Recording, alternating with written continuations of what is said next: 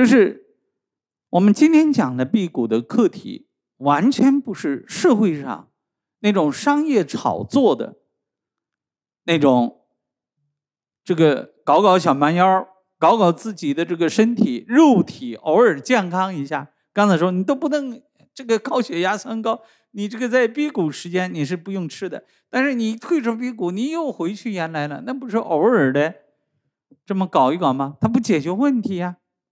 为什么不解决问题？你没有从修真高度上去看待辟谷。古代的辟谷，原始师徒传承的辟谷，是教我们修真用的，不是今天食素的商业炒作的辟谷，更不是现在人为的编排的辟谷。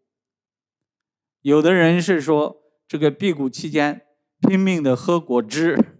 芹菜汁、萝卜汁、什么汁这些汁啊，辟谷的，结果喝了，最后上医院了。很多人为什么？你的胃寒呢？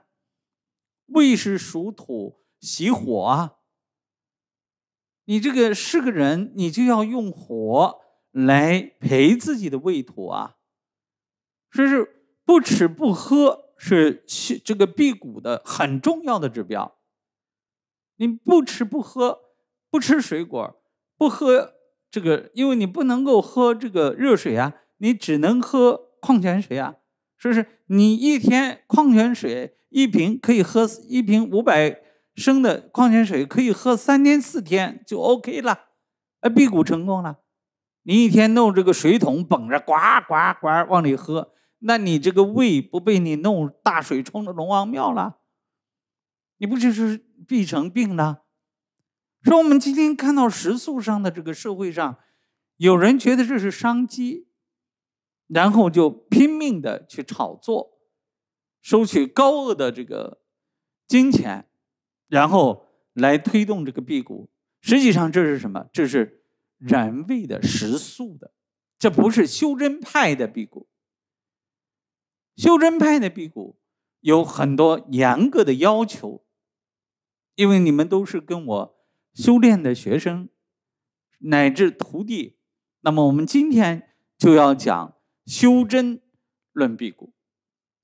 你怎么通过辟谷使自己返还成真人，返还成你原本不死的金刚身？这个重要，在这样的一个高度上去看待我们推动的这个辟谷术，师徒传承的辟谷术。和食素的泛着铜臭味的这个辟谷术是完全不同的。所以说，我们修真论辟谷，大家首先要认清两个实相：一，你生存的宅子、生存的这个地球、城市、国家这些东西都不会是永恒的，远离这些东西。不，所谓远离，不是说你跳楼自杀了，你不在这个国家了，不是。是不在乎，不在乎我的房子住的什么样的，不在乎我的车子开的什么样的，不在乎我的吃的什么用的什么，我的薪水多高，因为我有一个伟大的目标去追求，我要成真，成为一个真人，这叫修真，修真，是不是？那么。另外一个知道自己的生死叫生命实相，释迦牟尼就讲两个实相，一个就是宇宙实相，我们的医报世界是假的，它是永远的光明海，不生不灭、不垢不净的。我们的生命的实相，我们的骨灵是不死的，是永远的，不能够被污染的，不垢不净、不增不减、不生不灭的。说我们死不了。要有这样的一个认知，我只是业力的身，自己的善恶业没有净化，我需要去根据业力去偿还自己所欠下的业债而已。我如果通过修真的方法，我把自己的本体回到自己的金刚不坏的永生身、不生不灭的身的时候，那么。身也不是菩提树，心也不是明镜台。我空空如也，什么都没有的时候，我的业力何在？抖擞精神，一身没有业力了，因为我就是那个大虚空，我根本就没有一个张卜生这么一个东西存在，我张卜生的业力谁来担当？我自己都不在了，谁来担当这个业力？这是什么？这是修真的窍诀，就是身空、心空。真空就是要知道自己肉体身，这不是你自己；心空就是知道自己的思维意识不是自己。身空心空以后，你是不是就不在这个人世间？No，你没有累赘了，没有包袱了，没有任何的担忧了。你这个在人世间大自在的活着，该活一百岁，还是一百六十岁，还是两百？岁成为老不死，你继续活着，但是身心自在，身心自在。那么我们辟谷的目的是干什么？辟谷的目的就是帮助自己的真主人能够从这个染污中脱出来，从一堆垃圾中挣脱出来。这是自己的真我，真主人。这个真主人他在哪里？为什么古人说的很很清楚？就是你要想长生，一定腹腹中无粮。你这个腹腹部，大家知道腹腔、胸腔、腹腔，你要肚子里长空，腹中无粮，肚中无屎，肠中无屎，你就是没有屎尿，干净的，也不拉屎，也不尿尿了。哎，你成真了，你成真了。为什么成真？你原本是真，你埋在这个屎尿中，你这个真人被你用屎尿给埋没了，熏的他不出来，臭。然后他刚好在胃后面的皇庭里面是他的宫殿，你吃的这个胃胀的就跟个什么似的。刚好把他的门给堵住了。你如果胃空的时候，他不去挤压这个你的中宫，他的皇庭这个庭院就宽敞了。这一宽敞了，这个清清静静的，没有屎尿味儿，没有这些不好的东西，你吃进去的垃圾的东西熏死他了。你没有这些东西，你辟谷，你空了自己的。饮食不吃不喝，然后里面都是真气，啊，所以是那么这个时候，你的庭院大开，中庭大开，皇庭这个地方它就很宽敞，很清净，哦，你的真人就打开他的门出来透透气了，啊，这个时候黄庭真人，也就是你的那个骨灵老不死的灵。他才会出来透气，一透气了，他一看，哎呦，我这个国家乱七八糟给你们整的，我非得把它治理一下。好了，他开始做主人了，指挥你颅脑腔、胸腔、下腹腔、体内的万神，去清理各自的房间、各自的城市，肝有肝神，肺有肺神。脾有脾神，肾有肾神，五脏皆有神。黄庭真人不出来，阴神在那大闹天宫。如果黄庭真人出来了，他号令群雄，是阳神，天兵天将来了，正神来了，驱除邪魔鬼怪，一身光明，一身清净。说是自己的真人出来以后。六神有主，然后体内万神朝礼，听命自己的国君，然后这个国家很快的就富强，国富民安。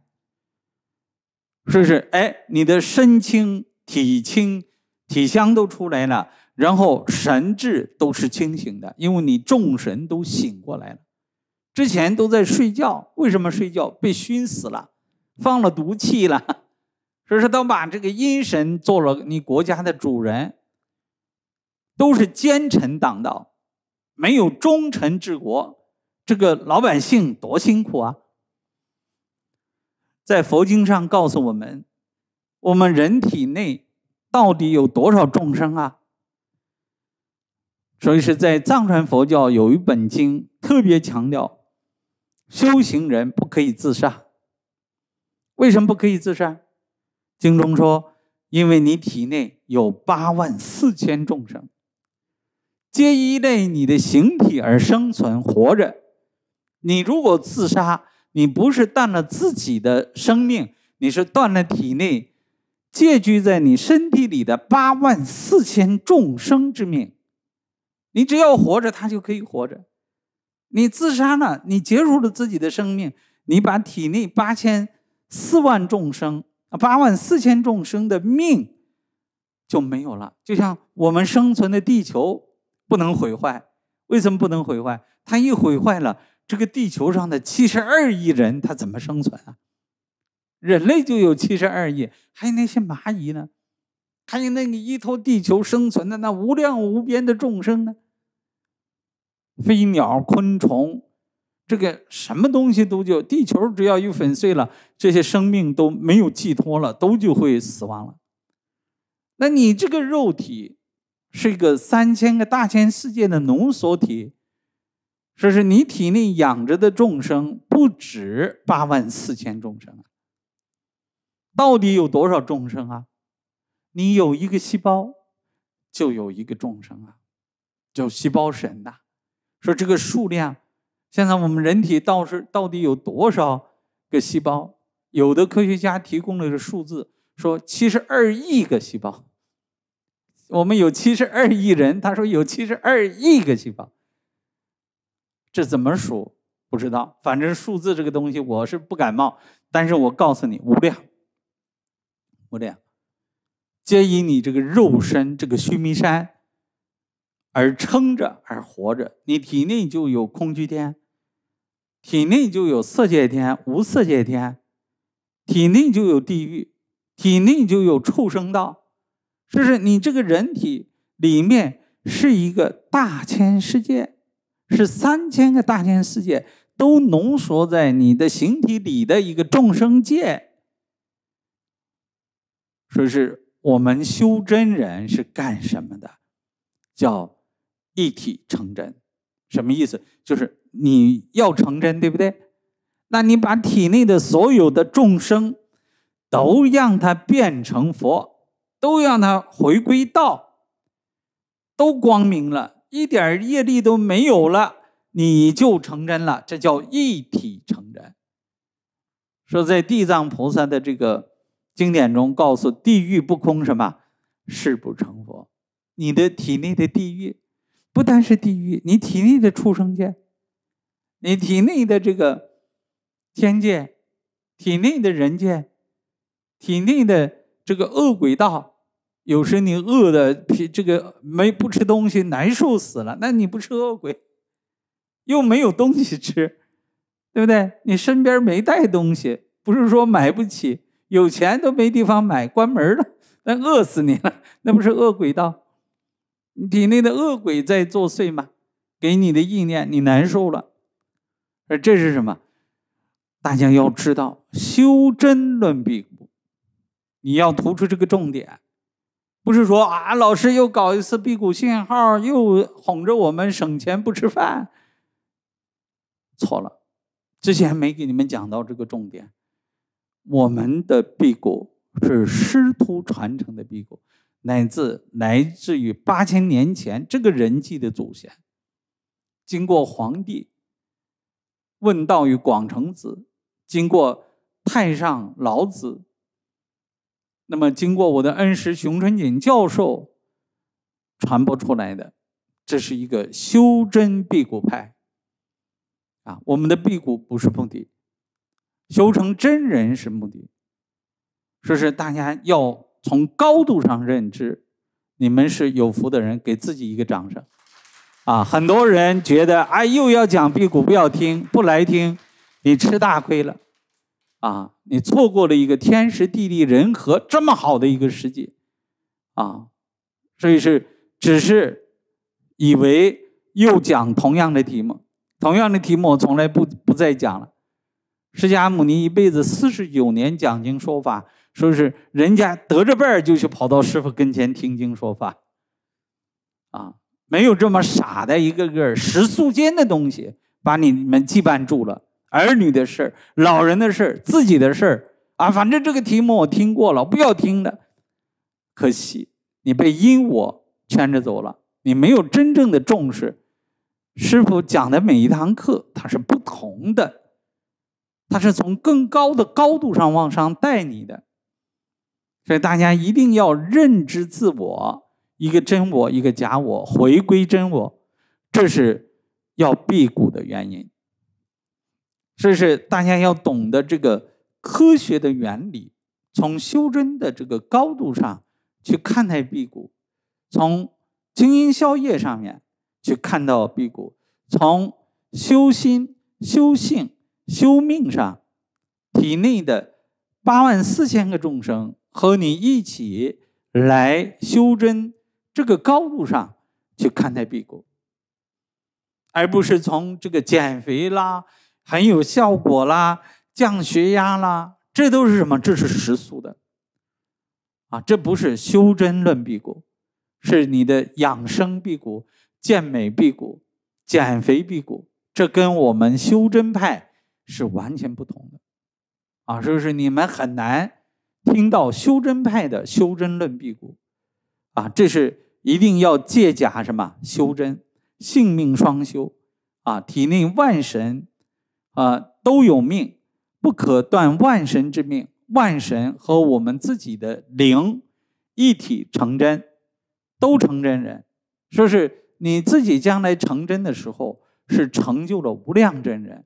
不是一个真人，啊，最后和你的整体都一体成真人，那么度尽体内的众生，内成外就，你就成佛了，你就成道了，不是一个很难的事情，啊，一定要在有传承的师傅的引导下去完成心空和身空的修炼。